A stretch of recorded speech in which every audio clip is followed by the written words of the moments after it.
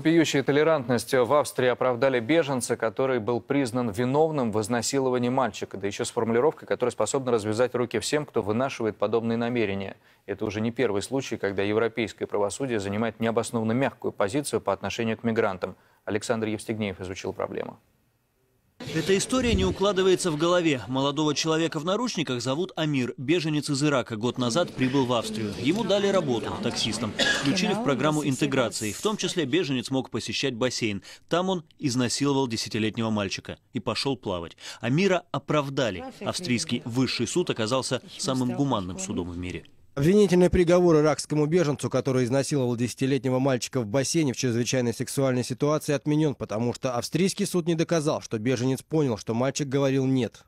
Под чрезвычайной ситуацией подразумевается то, что у Амира 4 месяца не было секса. А еще он плохо знал немецкий и не понял, что жертва – ребенок, против того, что с ним делают. Эти странные доводы преступника и его адвоката растопили сердца судей последней инстанции. И они отменили приговор городского суда – 6 лет тюрьмы.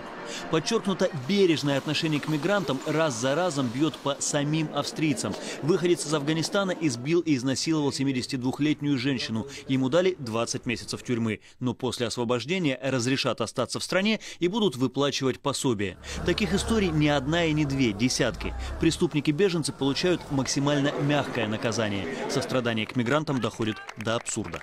Thank you, Germany! Спасибо Германии! Спасибо Меркель! Выглядит комично, но только на первый взгляд. Беженец из Сирии смог устроиться в Германии с личным гаремом и получить пособие мечты 360 тысяч евро. Европейские законы, по сути, подогнали под некого Газла, это имя. У него четыре жены. Одну так и записали женой, еще трех провели по документам как подруг. На всех 23 ребенка. Газла принципиально не работает. Ему нужно быть семьей, чтобы сохранить совет да любовь.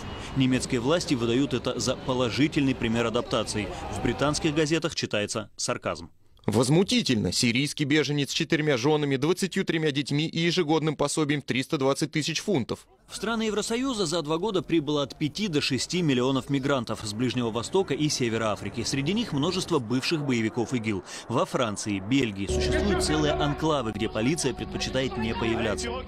Еще раз сюда сунетесь, мы вам головы проломим! А вот шведские власти собираются взять инициативу в свои руки, перевоспитать исламистов, дать им жилье, работу, образование. За основу взяли программу реабилитации преступников и неонацистов. Естественно, будут выплачивать пособия, но вскрывается интересная деталь. Люди, фактически прорвавшиеся в Европу, убежавшие от чудовищной опасности, используют пособия для того, чтобы время от времени ездить на родину. Например, на религиозные праздники и семейные торжества. Александр Евстигнеев, Наталья Лобанова, Первый канал.